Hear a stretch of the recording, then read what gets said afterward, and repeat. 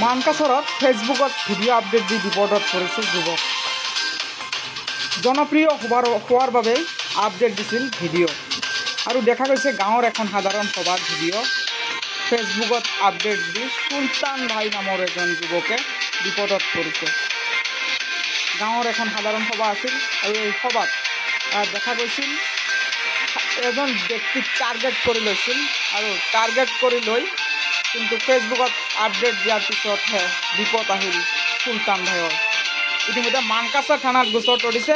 মানকাছৰ আৰক্ষীয়ে ব্যৱস্থা গ্ৰহণ কৰিছে যদিও কিন্তু দেখা গৈছে আজি আকৌ চুলতান ভাইয়ে যিজন ব্যক্তিৰ বিৰুদ্ধে ভুৱা ভিডিঅ' ফেচবুক আপলোড কৰিছিল সেই ভিডিঅ' তাৰ ঘৰত উপস্থিত হৈ ইতিমধ্যে ক্ষমা প্ৰাৰ্থী আৰু ক্ষমা বিচাৰিছে।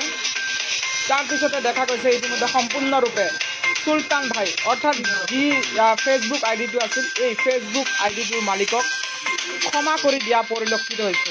আৰু এতিয়া জানিবলৈ আপোনালোকক জনাম যে আচলতে যি চুলতান ভাই এই চুলতান ভাই কিয় এই ভিডিঅ' আপলোড কৰিছিল? আহকচোন সুধি চাওঁ কিয় আপলোড কৰিছিল ফেচবুক চুলতান ভাই। কি হৈছে? যোৱা ছাব্বিছ জুলাইত মই মই মই এটা চুলতান ভাই ফেচবুক আই ডিৰ পৰা এটা বিচাৰৰ ভিডিঅ' পোষ্ট কৰিছিলোঁ যিটো একেবাৰে মেকিং বা ফেক আছিল। সেইটো মই পোষ্ট কৰিছিলোঁ মানুহৰ চাপত পৰি। মই জানিব পৰা মতে এইটো ফেক আছিল। এইটো বিচাৰটো ফেক জানি কিয় আপডেট দিছে? মিছা আছিল। এনে মানুহৰ চাপত পৰি দিছিলোঁ। কেনেকুৱা চাপ দিছিল? কেনেকুৱা চাপ দিছে মানে এইটো ফেচবুকত দিয়ে তো ফেচবুক পপুলাৰ হ'ব। এইটো কৈছিল আৰু পপুলাৰ হ'ব লাগে নেকি? না নালাগে এনে কৈছিল। পপুলাৰ কৰাই দিম আজি পপুলাৰ হৈ যাব।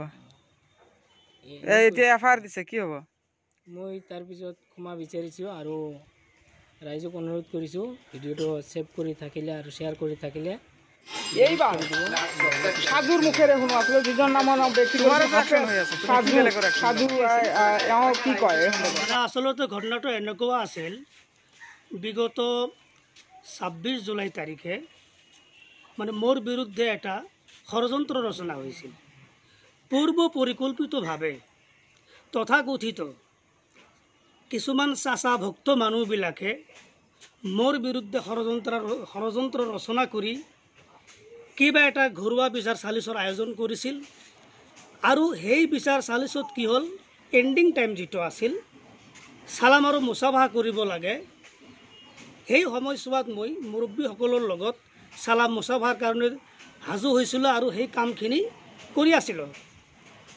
আৰু সেই চালাম মুচাফা কৰা সময়ছোৱাৰ ভিডিঅ'টো লৈ এটা ফুটেজ লৈ কি কৰিলে মোৰ বিৰুদ্ধে নাৰী কেলেংকাৰীৰ অভিযোগ আনি তাত মানে আৰু কিবা কিবি লিখি পেলাই এইটো ভিডিঅ' ভাইৰেল কৰি দিলে।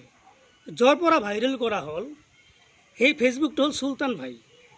তাৰপিছত কি হ'ল এতিয়া যেতিয়া মই চালোঁ যিহেতু মানে মান সন্মানৰ এটা প্ৰশ্ন আহি গ'ল।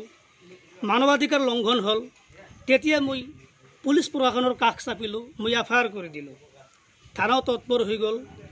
এইটো আচলতে কি জানে? এইটো মোৰ বিৰুদ্ধে আছিল আচলতে এটা পূৰ্ব এটা পূৰ্ব পৰিকল্পিত ষড়যন্ত্ৰ। কিয়নো এইটো ৰাজনৈতিক শত্ৰুতাৰ পৰা আৰম্ভ হৈছে। বিগত পঞ্চায়ত ইলেকশ্যনৰ পিছত দুষ্কৃতিকাৰীয়ে মোৰ ওপৰত আক্ৰমণ চলাইছিল। জোৰডাঙ্গাত মোৰ ওপৰত প্ৰাণঘাতী আক্ৰমণ হ'ল। কথম কথমপি মোৰ প্ৰাণ ৰক্ষা পৰিল। কিয় হ'ল? কিয়নো পঞ্চায়ত ইলেকশ্যনৰ সময়ছোৱাত মই বিজেপিৰ হৈ প্ৰচাৰ অভিযান চলাইছিলোঁ। আৰু সেইটোক কেন্দ্ৰ কৰি কিছুমান তথাকথিত চাচাভুক্ত মানুহবিলাকে মোৰ বিৰুদ্ধে কাফিৰৰ ফটোৱা জাৰি কৰিলে। মই কাফিৰ হৈ গ'লোঁ। তাৰমানে কথাটো হ'ল ইয়াত ছেকুলাৰিজমৰ কোনো স্থান নাই। যদি কোনো আলিম মানুহে বিজেপি কৰে সেই মানুহটো হ'ল কাফেৰ। এইটোক কেন্দ্ৰ কৰি কিছুমান মানুহ যিবিলাক আচলতে নিজেই ভাল নহয় ভাল চৰিত্ৰৰ নহয় এনেকুৱা কিছুমান মানুহ মোৰ বিৰুদ্ধে সকলো সময়তে ষড়যন্ত্ৰত লিপ্ত আছিল। যেতিয়া আক্ৰমণ কৰিছিল তেতিয়া মই দেখিব পৰা নাই আচলতে মানুহবিলাক আচ্ছা, মূল কথাত এই ইয়াত যিটো ছ'চিয়েল মিডিয়াত ভাইৰেল হৈছে এইটোৰ ওপৰত কিবা একশ্যন লৈছেনে আপুনি? হয় মই একশ্যন লৈছোঁ। এই ছ'চিয়েল মিডিয়াত যিটো ভাইৰেল হ'ল এইটো একশ্যন মই এইকাৰণে লৈছোঁ কাৰণ হৈছে আপোনালোকে চাওক আগন্তুক যিটো নিৰ্বাচন আহি আছে এম এল এ ইলেকশ্যন মানুহবিলাকে এইকাৰণে ষড়যন্ত্ৰটো কৰিলে যাতে মই বিজেপিৰ হৈ প্ৰচাৰ অভিযানত নামিব নোৱাৰোঁ। যাতে মানুহে মোক ঘিণ কৰে মোৰ ওপৰত এটা মানে কুধাৰণা পোষণ কৰে।